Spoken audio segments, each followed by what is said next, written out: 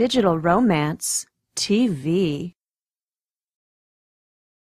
Welcome to Digital Romance TV. I'm here, Nora, with Michael Fiore, and we're going to talk about some of the issues that are bothering you in your love life and dating and romance. Today's topic is number one way to keep a man interested. Hey, you're the man in the room. What's the number one way to keep a man interested? What do you mean by interested? I'm assuming it means sexually. Is this like the opposite of why men pull away? Is this like a kind of I want to keep him focused on me and only Sure. me? Um, Let's go with that. well, because a lot of women, what they do is they, a lot of women push men away, right? Absolutely. And they do this oftentimes by doing th- what I call toxic insecurity, which is oftentimes when a guy will. I was writing about this the other day. A guy will. She'll say something like, I, "Do you love me?" And he'll say, "I love you." And she'll say, Wait, eh, can we back up? Yeah. Why is a woman in a relationship, I'm assuming, right, in a place where you've already said this to each other, "Yeah."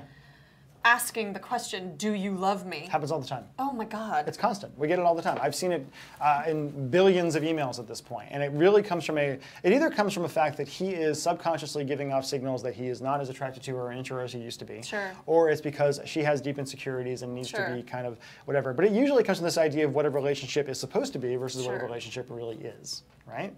The number one way to keep a guy interested is to appreciate him for the man he actually is, as opposed to the man that you wanted him to be. and actually, that was going to be my, my pithy little answer, Yeah. which is the number one way to keep a guy interested is to be interesting and interested in him. Yeah, yeah, and to actually celebrate like who he is and Yep. what he wants, and, and also not be needy at the same Yep. time. And But that's part of it, to be thing. interesting yourself, to have interests that you like outside of your relationship, and you continue to not make a man the full focus of your life. And I always say, like, I talk about the codependence spiral and some of the stuff that we do, and this idea that a lot of times what people will do is they'll say, "Well, I want to go play baseball, and I want to go, uh, you know, out with the girls and go to a club, and we're going to stay home and watch America's Top Model." Yeah. Right? And so both people end up cutting off huge parts Sure. of themselves to spend time together that's not even quality time at Right. that point. But the main way to keep them interested overall is to keep things fun, Yep. keep things appreciative Yep. in your relationship, um, and understand what men really are. Right. You know, my, the secret survey program that we do, which you can check out at uh, whyhelies.com, it's why men lie to women they love, is a big pitch there.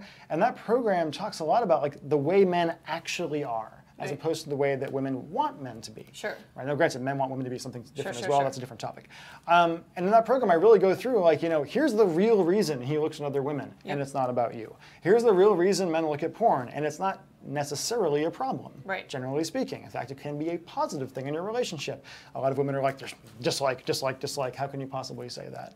But understanding what a man really is and treating him like that and appreciating him for what he really is, as opposed to the image of what you wanted him to be when you were 12 and was still playing with Barbies, which is a little old for Barbies. I don't really know why you're doing that.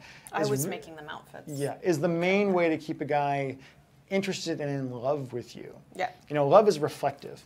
Love is the one thing that men need more than like women need love and adoration to feel happy in a relationship. Men need respect Mm-hmm. more than anything else. A man would rather be respected than be loved. And that's that. Yeah. Yeah, I don't have anything else to say. Do the close, you do the open.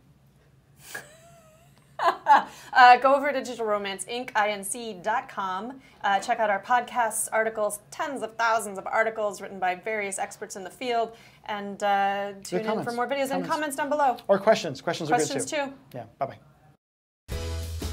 If you want to understand men better than they understand themselves, go to digitalromance.tv forward slash secret to watch a special presentation where I explain the weird psychology of men and what men need to truly commit to a woman.